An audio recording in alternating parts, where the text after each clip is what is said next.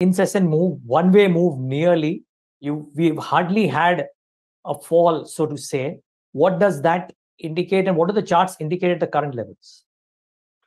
Yes, Neeraj, since October, we've actually behaved like a pendulum. If you really look at the uh, price action since October, I think you've had rallies of three, 4,000 points, and you've also had dips of about three, 4,000 points. In fact, it's a very unique bear market that played out in the last nine months. I mean, something which I haven't seen in the last two decades, because within the bear market, you had these large, sharp rallies, which gave one the hope that all is well once again. But every time, you know, the markets rallied, it came back down.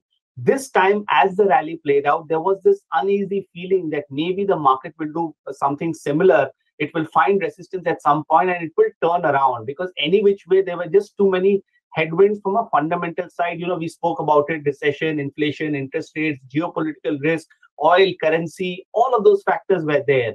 But then as we analyze this recovery, we just noticed that the leadership was different, the momentum was different, the participation was better, the corrections were very, very shallow. And the fact that from a technical standpoint, the market kept respecting supports and the moving averages. That's probably the reason we were working with a medium term target of 17,750, which has been done. And probably we are crossing that number today, hopefully on a closing basis. So I think the texture has looked very different. The market has more upside.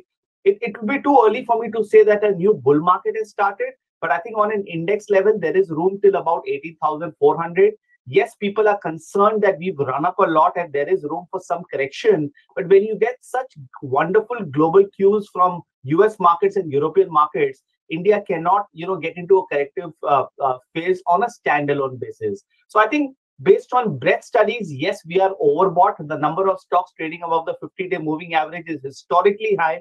These are numbers that we've not seen for many, many years. And therefore, there is room for some pullback sometime over the next couple of weeks. But I think as investors and as positional traders, you stay in the game and you tag along and you don't fight this trend. So I think 17400 and 17100, according to me, are now solid support for the rest of uh, August.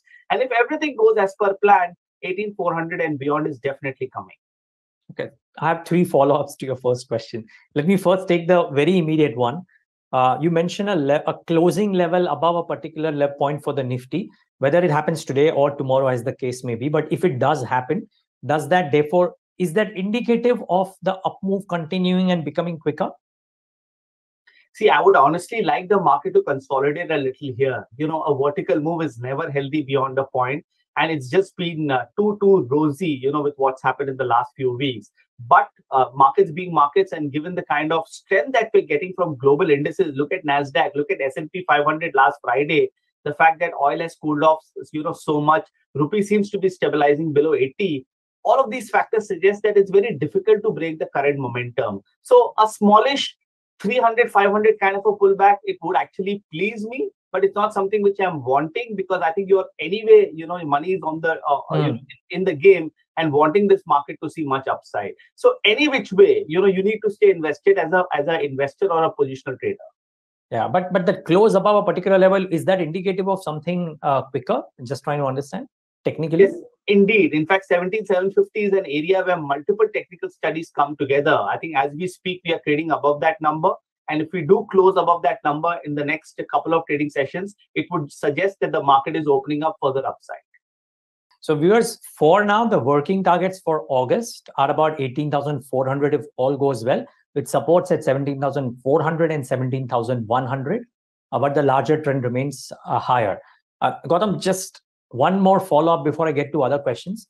If indeed all goes as per plan, uh, you know, typically I've seen uh, somehow, you know, the markets are weak and call it coincidence or whatever, but during Ganesh Chaturthi or otherwise, and then in the run up to the festive season, we've had a number of times wherein the markets do really well.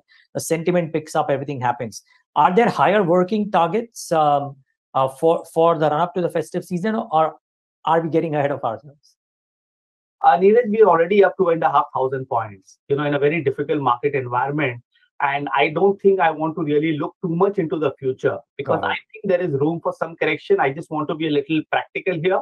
Uh, so I wouldn't have very large targets, but I just want to make a very important point that it's not about being top down anymore. It's about being bottom up because I think there are some wonderful opportunities outside of the index, and the real bull market is actually playing in some of the sectors in the mid caps and in the small caps. So Nifty and the top 50 might not give you stellar returns, but outside of that, we are definitely in a bull market.